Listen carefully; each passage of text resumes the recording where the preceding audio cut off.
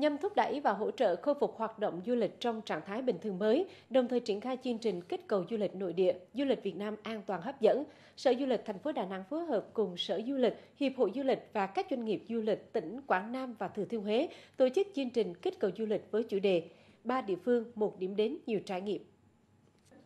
Chương trình nhằm khẳng định và quảng bá hình ảnh điểm đến hấp dẫn của Thừa Thiên Huế, Đà Nẵng, Quảng Nam đã sẵn sàng tái khởi động và hồi sinh mạnh mẽ sau ảnh hưởng của dịch bệnh, thiên tai khắc nghiệt. Du khách sẽ có được nhiều cảm xúc trải nghiệm thú vị khi đến tham quan du lịch tại ba địa phương. Các gói sản phẩm chính gồm trải nghiệm cho người dân ba địa phương, trải nghiệm các sản phẩm du lịch, dịch vụ đặc sắc của Thừa Thiên Huế, Đà Nẵng, Quảng Nam dành cho du khách trong nước, trải nghiệm các gói dịch vụ Mai và Ghost với nhiều ưu đãi hấp dẫn.